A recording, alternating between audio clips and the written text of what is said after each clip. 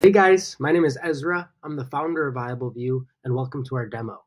Our mission statement is to democratize access to leverageable market data analytics for tomorrow's entrepreneurs. We feel that big companies are constantly leveraging big data to make informed decisions to win. And why shouldn't the smaller and medium sized businesses be doing the same thing? Oftentimes, it's because they don't have access to this data and they really don't know how to use the data. Our platform is made to simplify that, right? So, we're going to start off with our Opportunity Finder, which is our flagship product. What is an Opportunity Finder? Oftentimes referred to as a product finder. Uh, what it is, is a, a tool that synthesizes big data and allows entrepreneurs and product research teams to find products to sell that are profitable and that the market demands right now. Uh, right? So that's why it's called Viable View. We're trying to see what's viable in the market. On the top here, we have our category and selection table. Uh, in this table, we have a couple core metrics that we show starting with the total revenue for that market or, seg- or for that category or segment. Then we have the serviceable addressable market, which is a portion of the total market that can actually be reached. Not very many platforms show this number or calculate this number based on the total market. They only show you the total market. That's awesome and all, but what portion of that total market is available based on the competitive nature of the of the category or segment, the saturation, the success of new sellers, so on and so forth. We show an average margin, which is really uh, an average if acquired through paid acquisition channels. So if running paid ads, right, we, we estimate the cost per click, the conversion rate, the average order value, the, the cost of goods, so we're able to get an average net margin for each category and for each segment as well. Um, and then we take the SAM and we multiply it by the margin, the, the, the available market size times the average margin to get the max profit that could potentially be made within that category or segment if executed on in the most ideal fashion. So if you're looking for something in specific, right, you you have a, a specialty or an area of expertise that you wanted to look in, you're able to select that category or dig a little bit deeper into, you know, digital food recipes. Say you're a bread chef, you could really get you could get granular with your search and you know digital crafts say you're you know you're you're a cross stitcher and you know how to make cross stitch patterns you could select that However, me, for example, I'm a serial entrepreneur and I'm just looking for what the best opportunity is. I don't necessarily care what category or segment it's in. So I'm going to select all of them for this exercise. As we scroll down, we have a range of six fields, starting with the target monthly profit. Here, I'm going to plug in my target monthly profit. Let's say, for example, it's $5,000, right? Next, we have the average monthly revenue. I don't care so much about the revenue. Here we have the average max monthly profit. I'm going, this is different than the target profit. This is the max profit. So it's important to not limit yourself for future growth, right? In, in your search here, I'm going to put $10,000. You know, we want to have a, have a minimum max profit of 10,000, uh, but our target profit right now is 5,000. I'm not going to input any range for the average order value or price, cost per acquisition, or, pay, or profit per order. I am, however, going to slide up our opportunity score range. I'm going to slide open our uh, slide up our profit margin range to 40 to 100. And then here we have our market aggression level. This is important for all entrepreneurs to use in this search. Uh, ultimately, it, it, it's a gauge of how aggressive you're going to be, what portion of the max profit you want to obtain, right? So um, I'm going to slide it up to seven and generally it would reference your experience level, your budget level, uh, and you and you know your ability to actually execute on it. So I'm going to slide it up to seven for me. If you were just starting off selling though, you would be down here one, two, or based on your goal. I'm sliding up to seven for this exercise. Here we have market KPIs. If you're an experienced entrepreneur and you're already selling, then you probably already know your average cost per click that you're getting for your category or segment you know your website or your shop conversion rate, you know the average price that you're selling your products for, and you know your cost margin. So you can plug that data in here and it'll actually re-simulate our entire output to include your metrics and what would happen with this data instead of the industry data. I'm not going to plug that in now because I'm interested in the industry data to see what the market is, what's happening in the market right now. I'm not going to include any keywords and I'm not going to exclude any keywords. I'm going to go ahead and search. Okay, as you can see, there's three sections of output. First is the opportunities. Another word for opportunities is niche, right? And what is a niche? A niche is a group of products that are all similar to each other. So that's really what these opportunities are.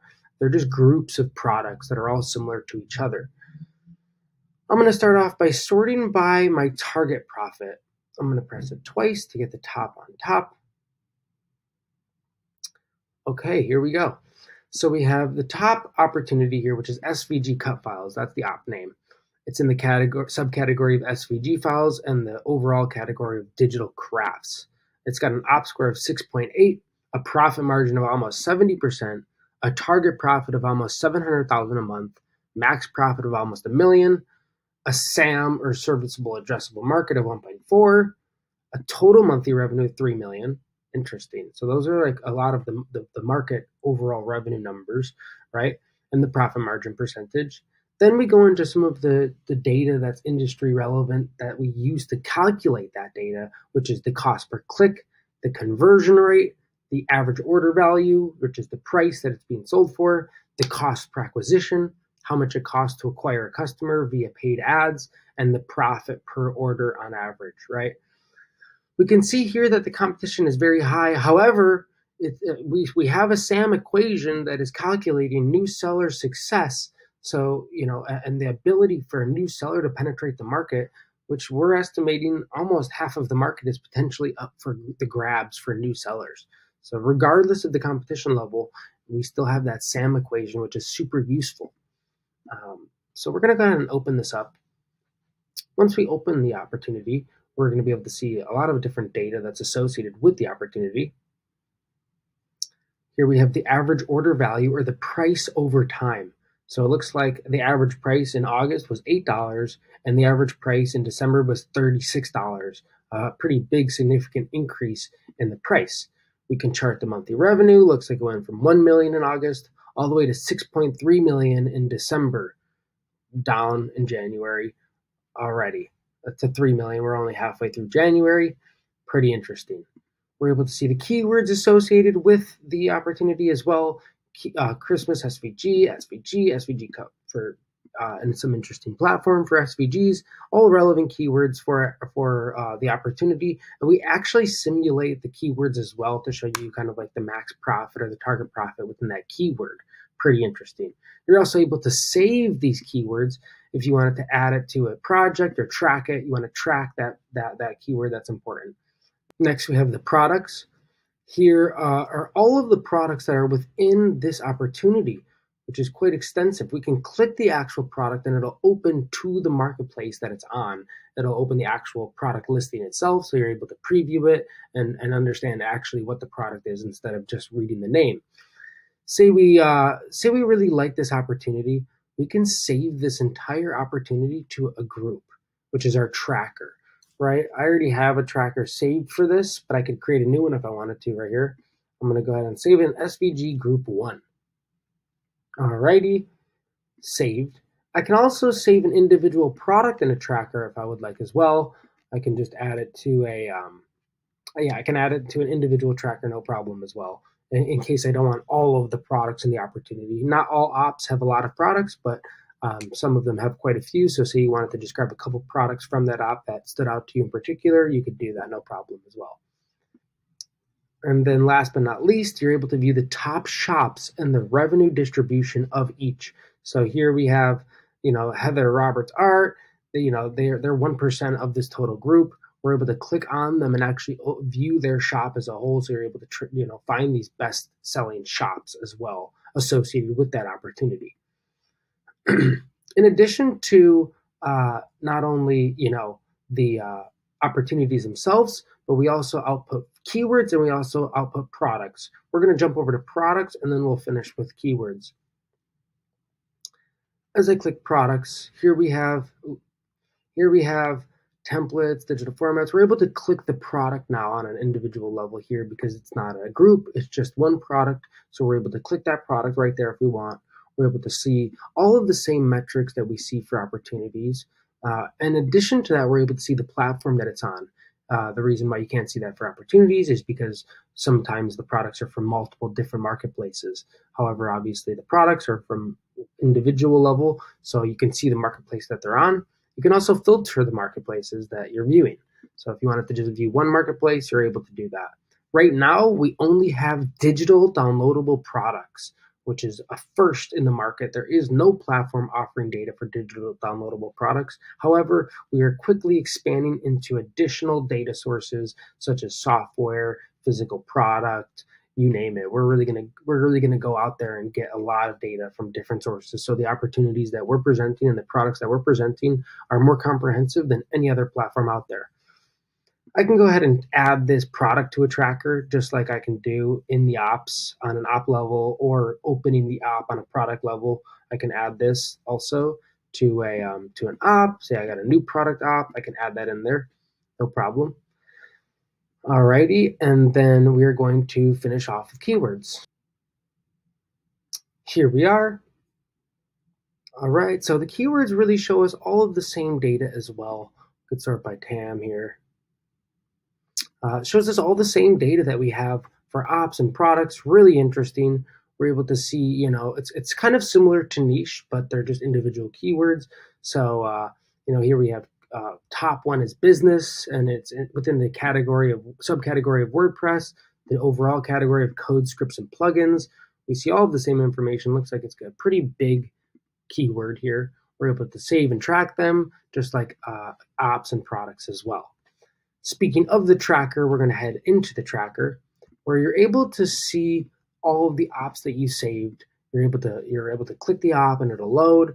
And and ultimately, this is a great place to not lose track of all of your findings. You're going to save uh, all of your findings into your tracker. What happens after you're done with your tracker and you want to execute on the product, right? So the next is going to be the project, right? And so say I've made a bunch of ops that I really think are awesome and I'm ready to execute them.